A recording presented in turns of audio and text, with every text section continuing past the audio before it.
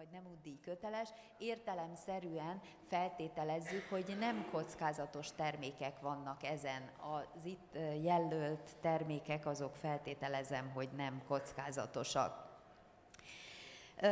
Hétfőn reggel olvasom az, ez egy második, másik kérdés, hétfőn reggel olvasom az e-mailben, hogy egyik uniós beszállítónk péntek késő délután értesített arról, hogy feladott részünkre egy bejelentés köteles értékű alapanyagot. Büntete ezért a NAV, ha igen, miért? Hiszen nem tehetünk arról, hogy későn kaptunk értesítést az áru feladásáról, ha hétfőn jelentjük be visszamenőleges áru át, árufelvételi dátummal, be lehet-e jelenteni, ha nem mi a teendő együttműködés, tehát nem tudom később bejelenteni. Ugye ez már harmadszor jön elő ez a kérdés. Látszik egyébként, hogy milyen problémát jelent a gyakorlatban ezeknek az adatoknak a megszerzése, de sajnos a törvény az alapján, hogy mert a külföldi fél nem adja meg, egyszerűen nem mentesít ez alól, tehát csak az a helyzet, hogyha ezzel kapcsolatban